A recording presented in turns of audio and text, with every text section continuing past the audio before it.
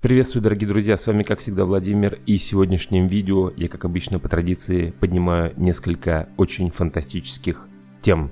Можно это все назвать сказкой для взрослых. Мои мысли — это, в принципе, мои фантазии, построенные на некой логической основе. То есть есть определенная логическая база, и не просто какие-то фантазии. Но, с другой стороны, не стоит их воспринимать за чистую монету, да? Потому что, ну, Мало ли, что я там говорю, или кто-то другой говорит, это все мой круг, мой круг реальности. Так вот, почему в тысячелетней истории человечества именно в 20 веке произошел феноменальный технический гиперскачок? Возможное будущее человечества, куда катится человечество, биометрия, новый мир. И кто они, те, кто стоит за кругом нашей реальности. Или потусторонние, по ту сторону существа, которые находятся, что они делают для человечества и кто мы для них. Так вот, сегодня главная тема развития техники на разных исторических временных промежутках человечества и почему вообще так происходит. В последнем своем видео я затронул японский флот. Это очень быстрый прогресс. Выглядит неким феноменом в кораблестроении, наводит на всякие альтернативные мысли и фантазии. В прошлом видео я даже высказал гипотезу на то, что, возможно, японцам помогли. Кто? Вопрос. Некие покровители за ледовым барьером с других территорий? Это, знаете, далеко от конспирологии. Инопланетяне, если мы верим в космос. Некие космические силы, покровительствующие японцам. Или программа. Да, та самая программа нашей виртуальной реальности, в которой, возможно, мы находимся и в которой, возможно, все.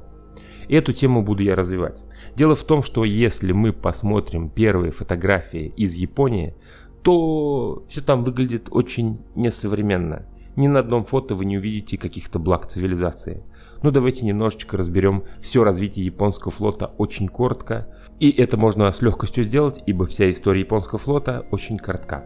Сначала я вам должен предоставить вот это чудо, фотографию вот этого прекрасного линкора японского императорского флота, головной корабль Нагата – стал первым в мире линейным кораблем, вооруженным 410 миллиметровыми орудиями главного калибра. Линкор «Нагата» был заложен 28 августа 1917 года, а уже 6 октября 1920 года во время ходовых испытаний в бухте Суккумо корабль бьет мировой рекорд скорости для линкоров, показав результат в 50 км в час. Посмотрите на это количество и высоту надстроек и рубок большое число орудий и огромное головное орудие с внушительными пушками. В общем, смотрится это все феерично. Но это только один из. Линкор японского императорского флота, второй корабль типа Нагато. Мицу заложен 1 июня 1918 года, спущен уже 31 мая 1920 года, вошел в строй в октябре 1921 года. Вот это скорость создания. От проектировки до спуска на воду прошли какие-то считанные года. 2-3 года и все, корабль уже плавает. Так, не будем забывать, что корабль военный. Это военный корабль. Это затрата огромных ресурсов. Металла одного нужно как на тысячу автомобилей. Ну и, конечно, нужно вспомнить о величайшем из великих – Ямато – Линкор японского императорского флота, один из самых больших военных кораблей в истории человечества. Ямато был заложен 4 ноября уже 1937 года, спущен на воду уже 8 августа 1939 года. Как японцы за пару лет штампуют такие невероятные гигантские корабли? Это невероятно. А какие пушки были на Ямато? Один снаряд 457 миллиметрового орудия весил полторы тонны. Не менее впечатляющей выглядела и броня, защищающая Ямато от авиационных бомб. Кстати, вот броня от торпед у него была похуже, как многие отмечают. А его как раз поразили торпедой.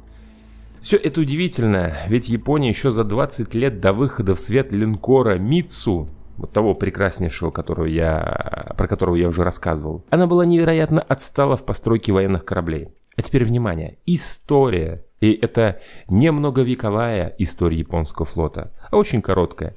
Незадолго до того момента, когда японцы стали строить самые мощные суда в мире. Специальных портовых сооружений, исполняющих заказы ВМФ, в Японии практически не было до 1871 года. Когда японцы соорудили какой-то там небольшой сухой деревянный док в Токио, а также эллинг для постройки небольших судов. В Японии приглашают специалистов в основном из Франции. В 1898 году Япония полностью отказывается от услуг европейских специалистов в области боевого судостроения. С развитием флота мощностей Адмиралтейства и Кусоки стало недостаточно, поэтому правительство приняло решение о строительстве сухих доков, эллингов, механических и судостроительных мастерских.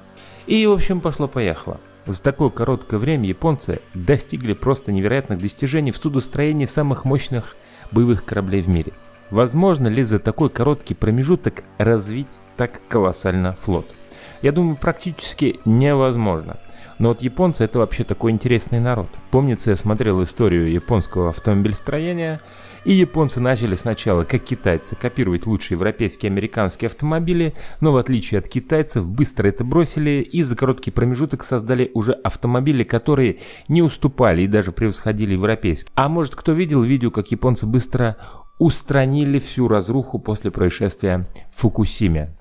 Землетрясение и, соответственно, цунами. Они это быстренько все устранили, заасфальтировали, убрали мусор, и все за какой-то короткий очень промежуток времени. Но все же это странно. Япония в конце позапрошлого века о военных кораблях имела отдаленное представление, но к Великой Отечественной войне группировка японской флотилии достигла невероятных масштабов и технологически невероятно поднялась, опять же, да? Так называемый императорский флот состоял из огромного числа крутейших линкоров, крейсеров, легких крейсеров, тяжелых крейсеров, гидроавианосцев, легких авианосцев, тяжелых авианосцев, подводных лодок, танкеров, кораблей снабжения. Это все появилось к 20-м годам прошлого века а к войне только усовершенствовалось и увеличивалось.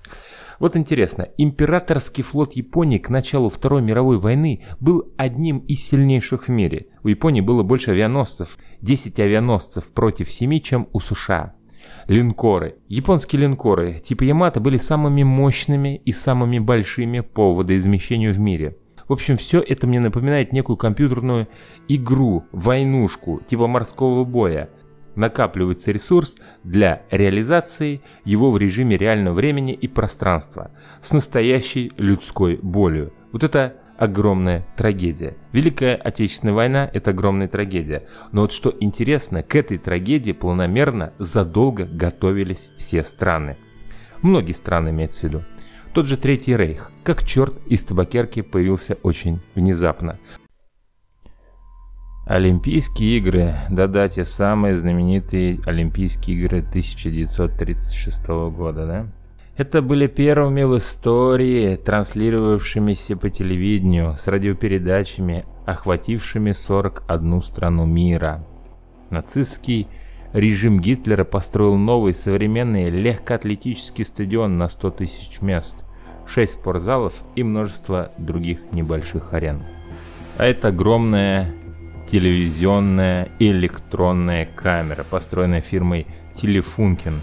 Она транслировала в прямом эфире 8 часов каждый день шоу на Олимпийских играх в Берлине. В 30-х годах там изобрели электронный микроскоп, кварцевые часы. В 1934 году начало промышленного производства искусственного волокна, реализация общественного телевидения. Это 1934 год. В 1935 году введение в медицинскую терапевтическую практику сульфамидов. Это, кто не знает, противомикробные средства – в 1936 году разработка технологии изготовления многослойных цветных фотоматериалов, эксперименты с развитием звукового цветного кино, телепередача по телефону Лейпциг-Берлин. Еще раз, телепередача по телефону.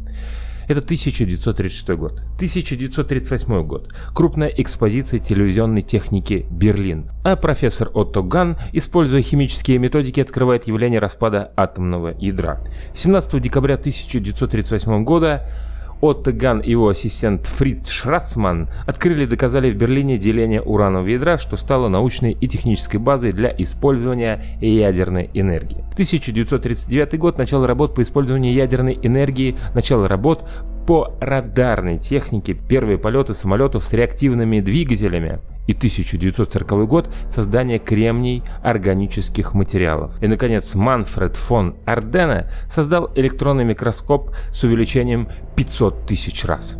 Также Третий Рейх имел большое количество новаторских военных и научных разработок.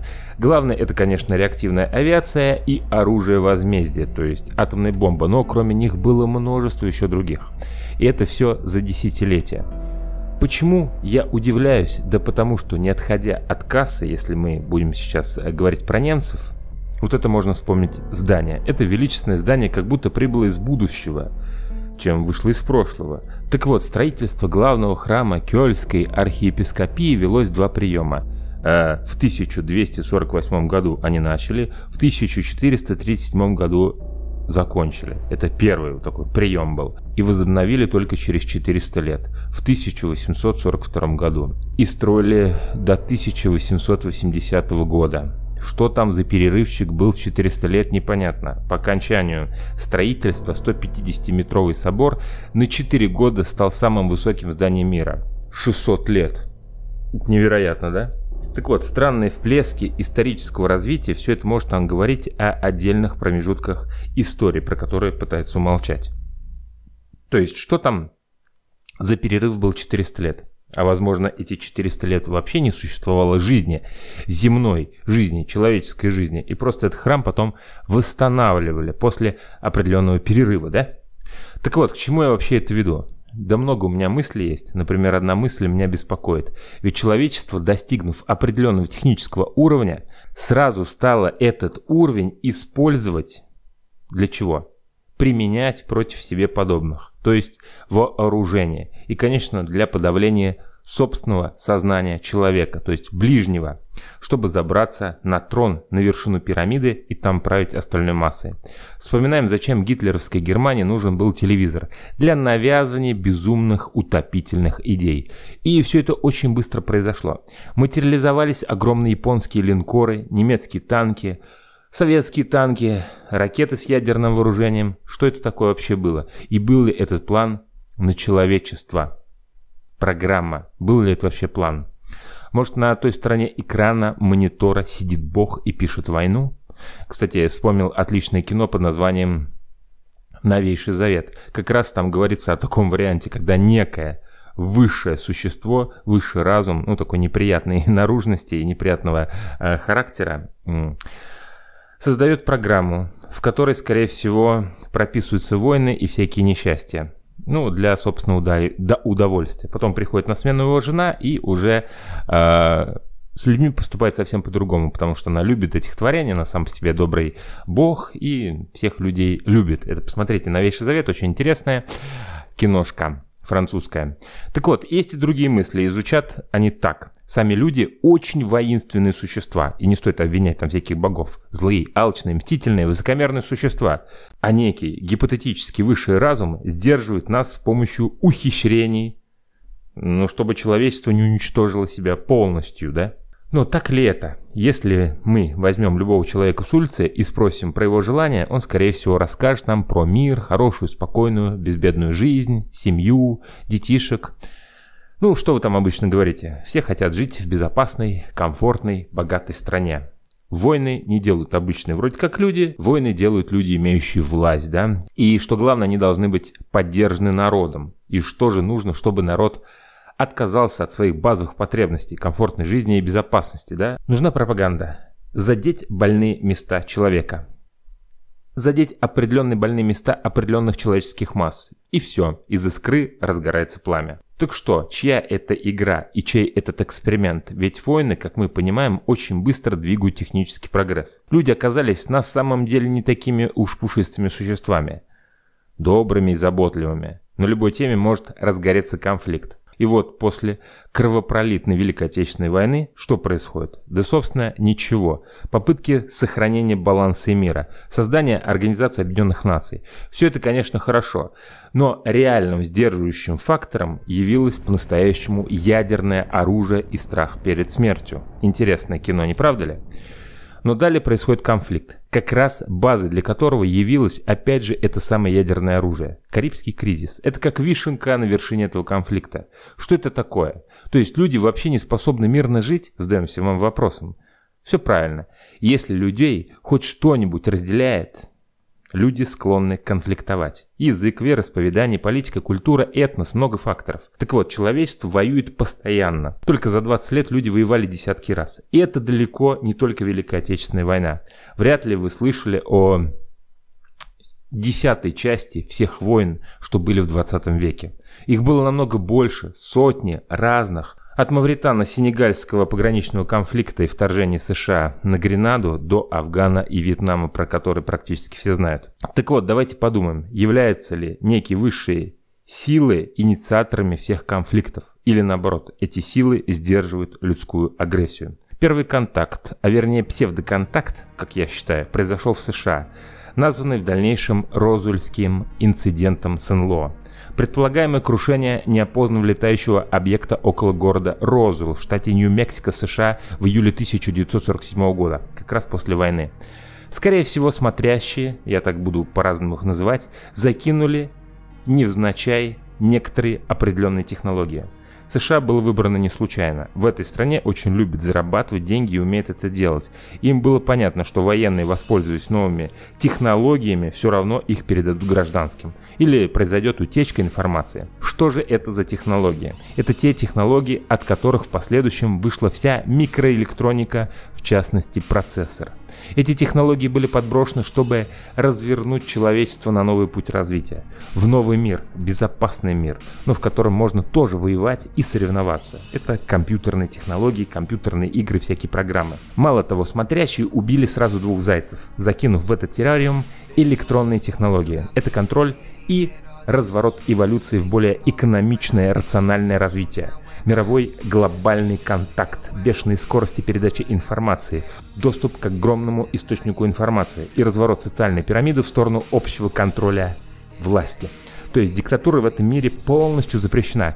И как мы видим, мир начинает разворачиваться на общественный контроль, когда любой человек, когда его голос скоро будет влиять на любые мировые процессы. Конечно, по России это, наверное, не скажешь, но и у нас когда-нибудь это произойдет. Но вы не представляете, как все быстро меняется. Очень быстро может все измениться. Ну вот вопрос, а зачем вообще подкидывать технологии человечеству? Про это мы еще поговорим. Во-первых, если хотя бы не отрицать подобную гипотезу, искусственный мир, люди под постоянным наблюдением, то первый Интерес понятен. Это, конечно же, наблюдение. Второй интерес – это опыты и близкое изучение. И третий интерес – использование рабочей силы, то есть людей, для каких-то своих там целей. Так вот, история с Розуэлем и Энлоа мне понятна. За земными кулисами делается некое существо-биоробот. То есть иные, другие наблюдатели или смотрящие. Я бы еще бы добавил ангелы и демоны, высшие силы, разные имена, а говорим об них и тех же.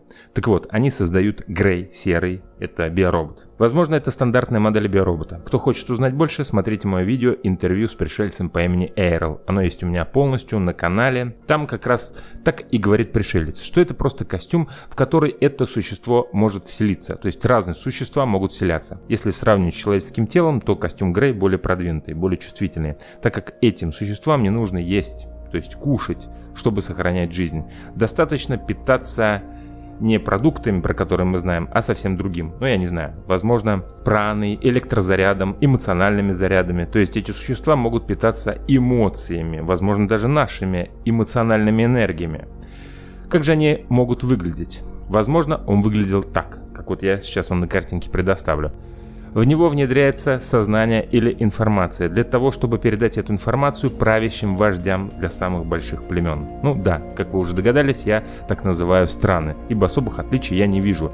Люди пока не способны жить самостоятельно, ибо конфликты будут возникать постоянно на фоне различных интересов. От дележа земли, самки для продолжения рода, еды, всех ресурсов, до всего чего хотите, конфликт обязательно возникнет на ровном месте. Вы это можете наблюдать сейчас постоянно и за стеной вашим могут соседи ругаться даже два близких существа, мужчина и женщина, которые должны, в принципе, быть постоянной гармонии. Нет, постоянно идет ругань. То есть человек вообще еще пока несовершенный. Так вот, был подкинут технический материал. Это корабль НЛО.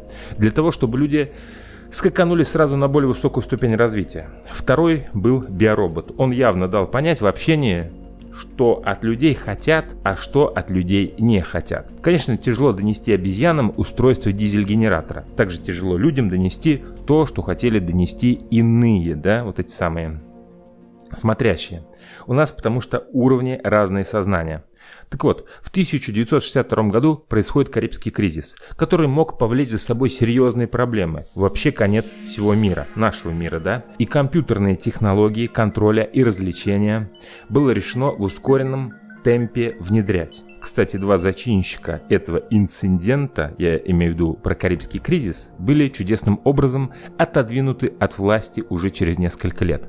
14 октября 1964 года пленум ЦК КПСС организовал в отсутствие Хрущева, находившегося на отдыхе в Пицунде, э, в общем, освободил его от должности первого секретаря ЦК КПСС по состоянию здоровья. Кстати, есть сведения, что Хрущева хотели вообще убрать и более примитивными и более эффективными методами. Якобы это говорил Брежнев. Физическое устранение предлагал. Судьбу Джона Кеннеди вы и так прекрасно знаете, оба руководителя были отодвинуты в кратчайшие сроки после Карибского кризиса, эксперименты так назовем, да, сразу их отстранили и очень жестко.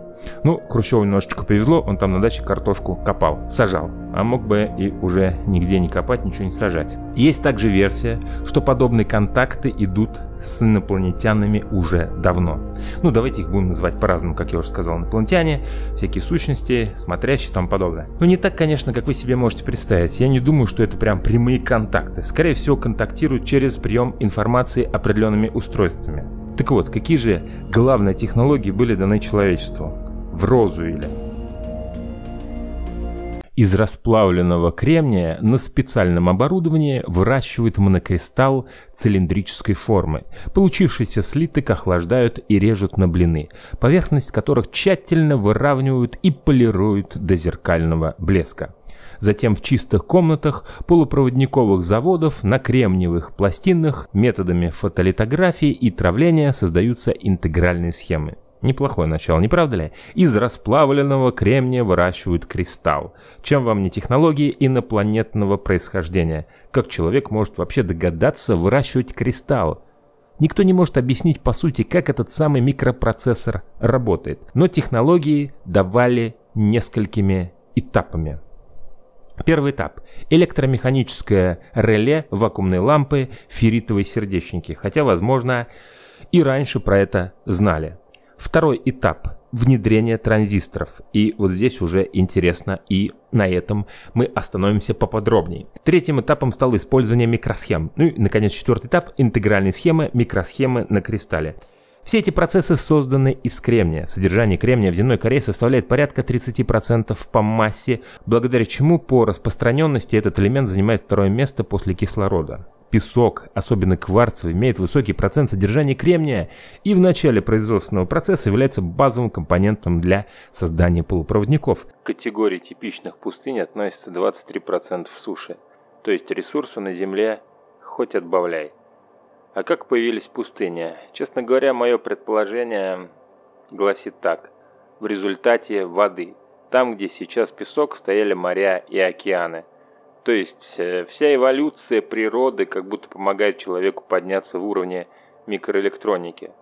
А может не помогает, а заставляет и некому высшему разуму. Нужно, чтобы мы строили города, похожие на микросхемы сверху. Города растут вверх, все выше и выше – все более уплотняется микроэлектроника. На один квадратный километр все больше электроники, все больше и гаджетов. И, возможно, через какой-то определенный промежуток этих микроэлектронных устройств станет в тысячи раз больше.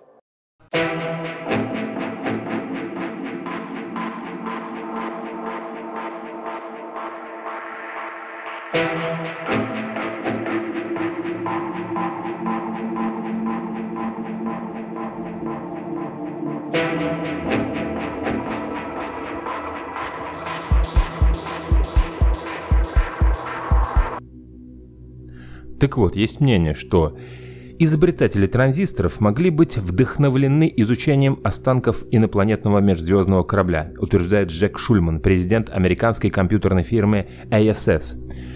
Это удивительное заявление впервые прозвучало в конце 1997 года, когда маленькая, почти неизвестная фирма, производитель компьютеров American Computer Company, то есть ASS, высказалась на своей страничке в интернете о том, что изучение останков инопланетного космического корабля, разбившегося в Розуэле в 1947 году, или какого-либо другого, могло стать решающим фактором в разработке этих самых транзисторов. Основой для таких утверждений стала серия документов и свидетельств, которые, судя по всему, попали в распоряжение компании ЭСС. Это предположение поддерживает подполковник в отставке Филипп Корс в своей книге «День после Розуэлла», в которой утверждает, что сам входил в состав подобной группы. То есть той группы, которая исследовала и разбирала остатки НЛО после катастрофы в Розуэле. Появление транзисторов, кстати, стало подлинной технологической революцией. И уже раньше предполагалось, что в этом глобального значения открытия учеными использовано нечто, отличительное от того, что можно встретить на нашей планете. До 1947 года использовались только вакуумные колбы и диоды из Германия и Селена, то есть двух элементов, которые существуют в природе. Но транзистор требовал появления полупроводников, для которых – было необходимо использование материалов, созданных искусственным путем на базе кремния, арсения и других элементов. Помните мое видео цивилизации черных колдунов? Черными колдунами я назвал людей, ученых, ибо все их действия, этих ученых, похожи на действия колдунов и колдуней. Те кидали в котел разные ингредиенты и получали на выходе некое колдовство, или видели будущее или настоящее в режиме онлайн, какой-нибудь препарат, любовное зелье или даже физический объект они могли получить. Также и в наше время, только вместо обычной печи используют доменную, а вместо ингредиентов бабы-яги, кузнечиков, летучих мышей, корень мандрагоры добавляют железнорудное сырье. Но на самом деле колдуны это просто первое прозвище ученых. Вот магия сейчас воистину очень сложна. Один человек попросту не в состоянии что-то в одиночку создать. Нужно много разных элементов, пазлов, общей картины. То есть разных изобретений соединить в одном. И, конечно же, использовать технику и инструменты, которые уже созданы ранее.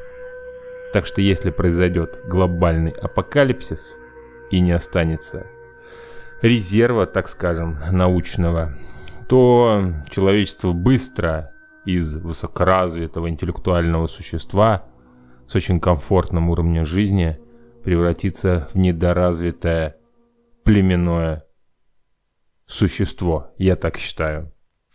Быстро все забудется. Если человек перестанет получать информацию, да. Помните алхимия и философский камень? Так вот, это было все не зря. Я имею в виду поиск философского камня. Благодаря постоянным усилиям алхимиков, направленных на создание философского камня, родилась современная наука химия. В постоянных попытках получить долгожданный результат в виде чудодейственного эликсира в процессе трудных поисков ученые средневековья сделали массу важных открытий. То есть первые колдуны передавали знания последователям. Иногда их признавали колдунами, и преследовали, то есть прошлых ученых средневекового века. В те смутные времена ученых даже сжигали на кострах. Это по нынешним временам ученые, но по тем временам это были явно колдуны. Но на самом деле современная наука похожа на колдовство. Так чем же колдовство отличается от науки? Ну давайте официально.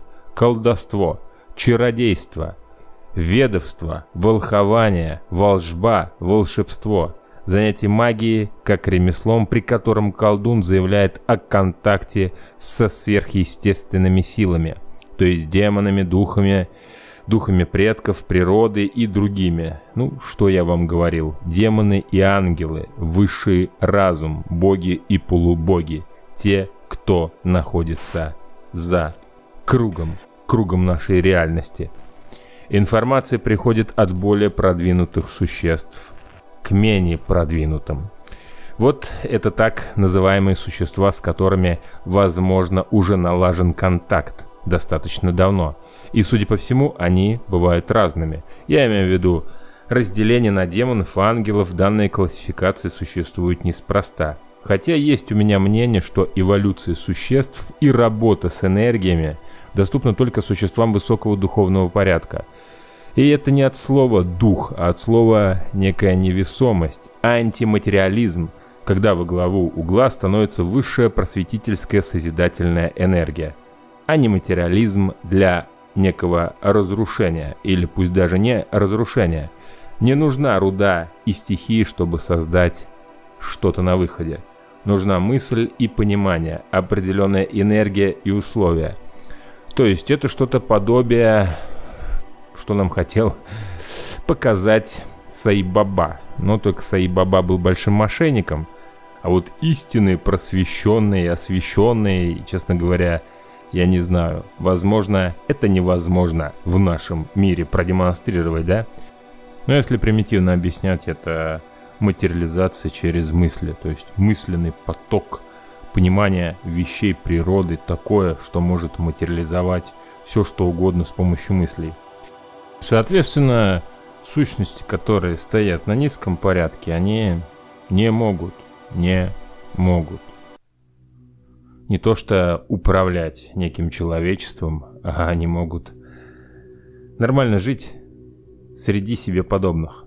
То есть, по мне, бесконтрольные, достаточно разумные существа, сумевшие создать оружие для уничтожения себе подобных, не могут эволюционировать или усовершенствоваться из-за неспособности к созиданию и жизни ради других. Такая цивилизация обречена на вымирание, ибо склонна к самоуничтожению. И это есть человечество в нынешнем виде. Вот потому я верю, что за человечеством идет наблюдение и контроль существ высокого порядка. Также в мире возможно и вселение, когда в человеческий аватар вселяются сущности для моделирования более светлой созидательной реальности с прогнозированным будущим. Исходя из этого, сложно предположить существ, склонных к уничтожению и в то же время существующих на высоком уровне развития, намного выше человеческого. Хотя такое возможно, если людьми управляют сущности нечеловеческого класса, не Homo sapiens, то есть них мало что похоже на современного человека в таких вот аватарах. Имеется свой эмоциональный фон или вообще нет такового – то есть существует эволюция без особых эмоциональных всплесков и фона.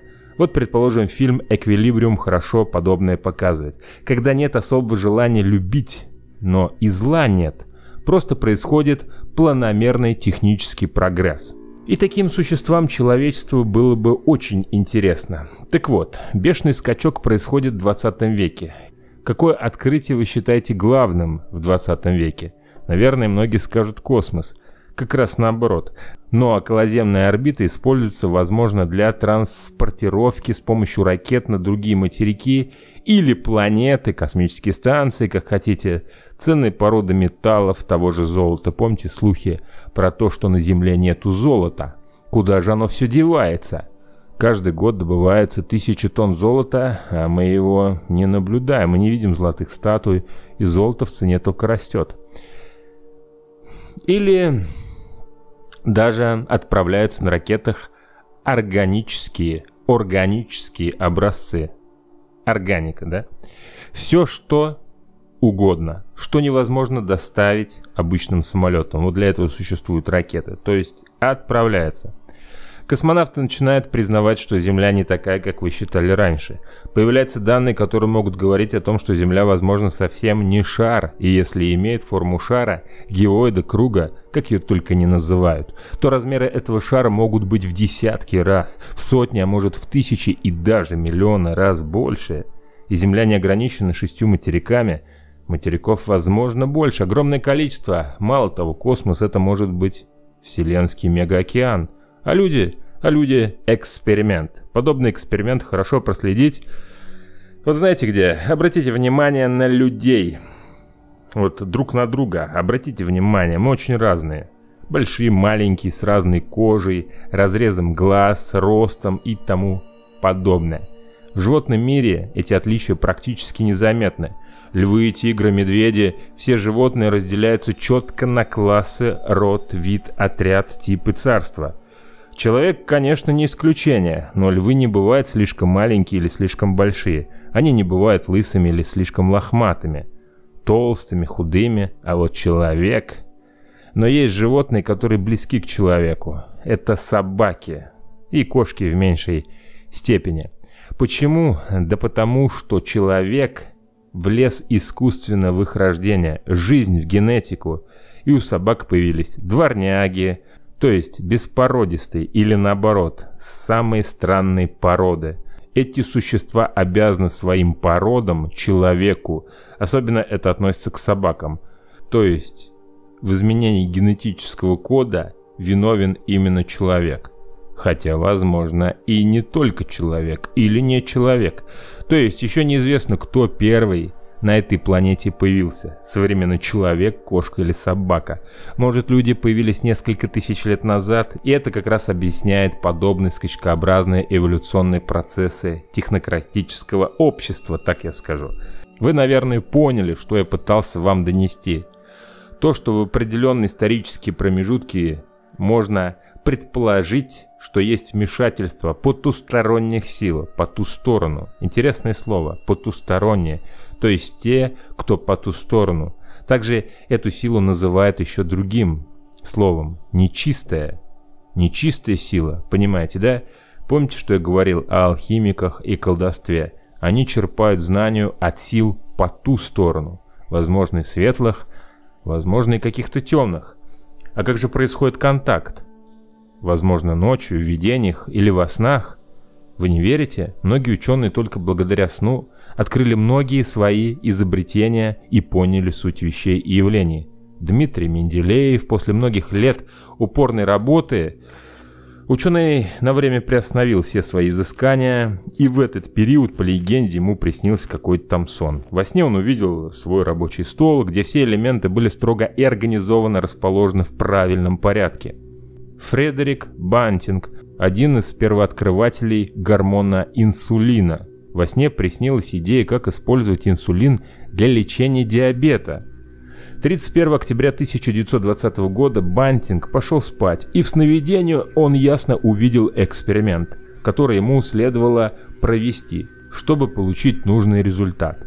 Когда ученый проснулся, он успешно провел опыт и доказал, что инсулин может успешно использоваться для лечения диабета – это удивительное открытие, кстати, в 1923 году принесло ему Нобелевскую премию по физиологии и медицине. Немецкий физиолог Карл Фридрих Бурдах уделял огромное внимание своим снам. Нередко они одаривали его различными научными догадками, одной из которых стала идея о кровообращении. Боровская модель атома, научный метод Рене Декарта и множество других людей, признавшихся, что видели свои открытия именно во сне. Но вот этот контакт очень уникальный. Шринивас Рамануджан, один из самых известных индийских математиков, на удивление не получивший никакого математического образования, и все же он создал невероятное количество математических формул и гипотез, особенно в области теории чисел – как же он это сделал? По словам математика, во многих его трудах ему помогла богиня Махалакшми, благоволящая его семье. Иногда в сновидениях богиня показывала самоучке математику загадочные свитки, на которых были изображены сложные математические формулы. И когда Рамануджан просыпался, он записывал эти видения и большинство из них в итоге оказались абсолютно верными математическими формулами. Так вот, существо, видите, открылось для человека. Можно еще долго рассказывать, разные интересные истории, поднимать разные темы, обсуждать и философствовать, но на этом, наверное, стоит закончить. И вы, наверное, поняли, что я хотел донести то, что все изобретения, какие-то открытия, возможно, раньше были известны, и то, что за человечеством идет полный контроль. Контроль. За нами кто-то однозначно наблюдает, но нам хотят вбить в головы, что мы такие вот одинокие существа на краю Вселенной находимся. Нет, это эксперимент, и за этим экспериментом прям хорошо так наблюдают. А, возможно, информация будет все больше и больше открываться, и все больше и больше видео будет выходить у меня на канале. Вот. Но хочу сказать, что это все-таки гипотезы, которых тысячи, миллионы, возможно, миллиарды. Но я знаю, дорогие друзья, что вам, моим основным подписчикам, подобное нравится. А с вами был Владимир. Оставайтесь свободными. Пока. До следующих встреч.